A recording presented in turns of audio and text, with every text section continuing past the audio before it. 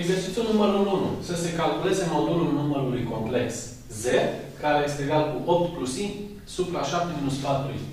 Modul din z este egal cu modul din 8 plus i supra 7 minus 4i, care este egal mai departe cu modul din 8 plus i supra modul din 7 minus 4i, care egal mai departe modul din 8 plus i înseamnă 8 la a doua plus 1 la a doua supra radical din 7 la a doua minus plus 4 la a doua.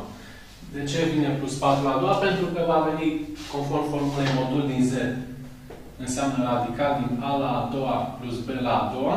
În cazul meu, minus 4 la puterea a doua înseamnă plus 4 la puterea a doua, pentru că minusul se anulează cu puterea 4.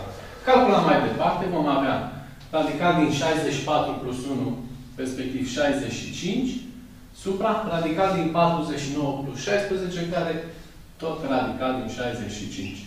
Deci, practic, modulul numărului Z complex este, în cazul nostru, egal cu 1.